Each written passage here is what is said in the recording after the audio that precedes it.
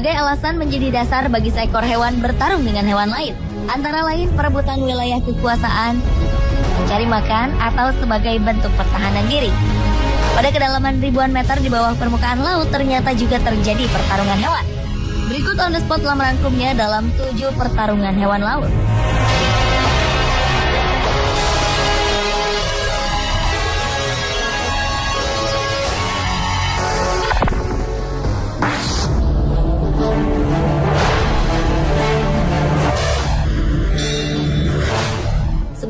Penelitian dilakukan dengan mengikatkan kamera pada punggung seekor anjing laut betina. Dalam perjalanannya berburu makanan di dalam laut, tiba-tiba betina ini bertemu dengan seekor gurita besar. Dengan cepat, anjing laut itu menyerang tentakel gurita dengan satu gigitan. Setelah itu, gurita tersebut dibawa ke permukaan air untuk disantap sang predator. Namun ternyata gurita tersebut tidak menyerah begitu saja, ia berusaha melepaskan diri. Namun usahanya tampak sia-sia karena ia tertangkap kembali walaupun sempat mengecoh lawannya itu dengan semprotan tinta hitamnya. Tak ingin kehilangan hasil buruannya lagi, anjing laut betina itu pun segera menaklukkan buruannya tersebut. Satu persatu tentakel gurita menjadi sasaran gigi-gigi tajam anjing laut.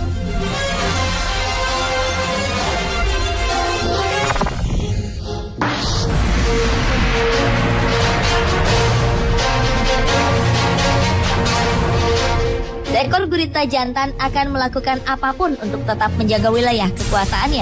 Begitu juga dengan gurita yang satu ini yang menjadi sangat marah saat melihat ada seekor gurita lainnya yang memasuki wilayahnya. Gurita pendatang itu terus berusaha melepaskan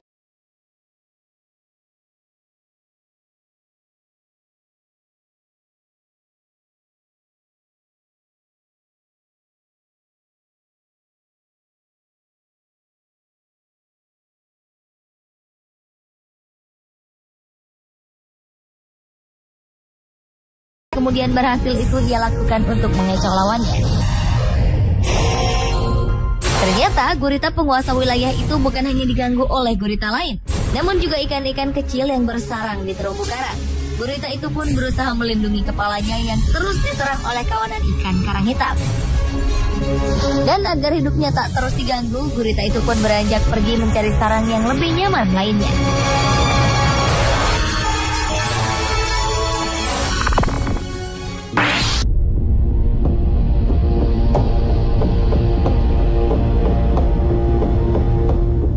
Pertarungan belut murai dan belut zebra di perairan Pulau Maui, Hawaii merupakan pertarungan selanjutnya.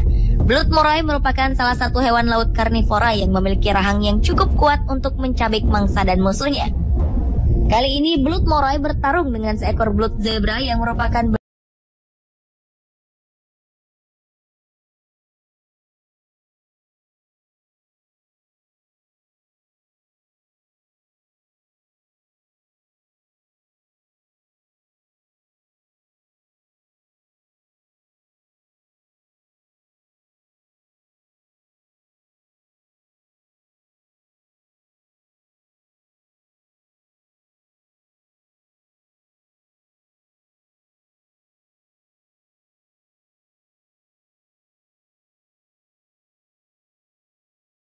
saat seekor kura-kura memasuki sarang ikan emperor cichlid untuk memangsa telur ikan tersebut.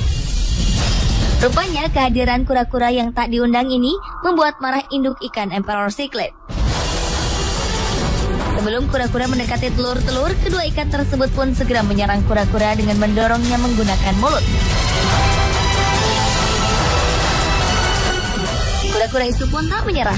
Ia tetap berusaha mendekati sarang ikan emperor cichlid. Perlawanan sang induk ikan itu pun kian kuat. Mereka mendorong, menggigit, dan seolah melempar kura-kura tersebut jauh-jauh dari sarangnya. Merasa mendapat perlawanan yang tak terduga dari ikan-ikan itu, kura-kura pun segera berlalu.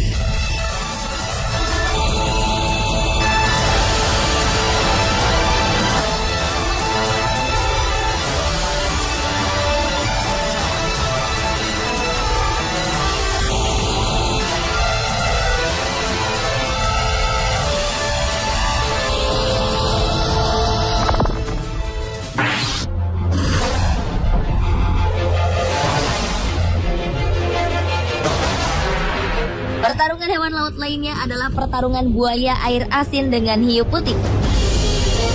Buaya air asin adalah reptil terbesar di dunia ini, dan hiu putih besar merupakan hiu predator terbesar di dunia. Anda bisa bayangkan bagaimana kedua hewan terbesar ini bertarung?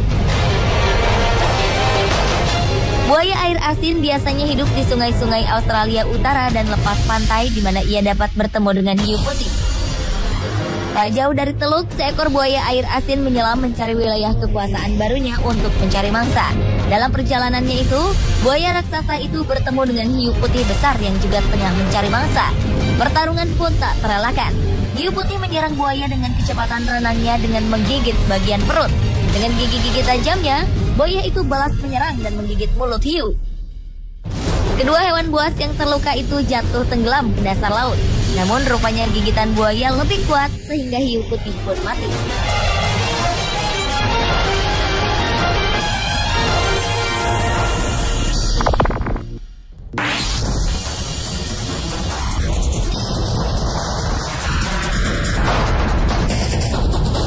Putih dan paus orca terkenal dengan gigitannya yang mematikan.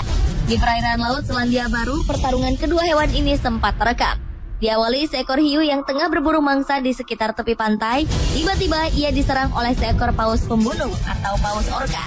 Paus orca yang berukuran tubuh lebih besar dari hiu putih itu tiba-tiba membuka mulut lebarnya dan menyerang bagian kepala hiu putih. Dan gigitan paus itu pun mengakhiri perburuan hiu. Tubuh hiu putih yang tewas mengambang di permukaan laut itu pun menjadi santapan siang kawanan burung camar.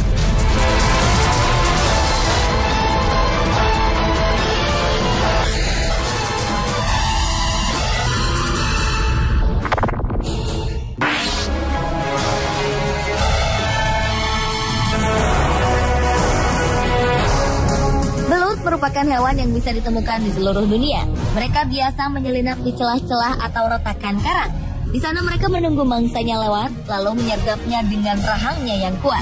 Karnivora menakutkan ini adalah pemakan hewan-hewan laut, termasuk gurita. Namun rupanya, gurita yang kali ini menjadi lawan tarungnya tak mau pasrah begitu saja. Makhluk bertentakel itu terus berupaya bertahan agar tak seluruh tubuhnya tertelan oleh morai.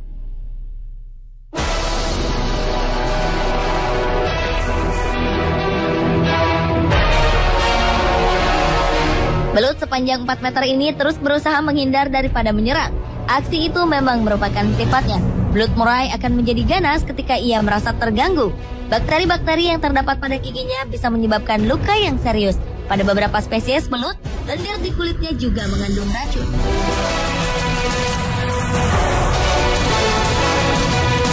Pemirsa, itulah ketujuh pertarungan hewan laut versi on the spot.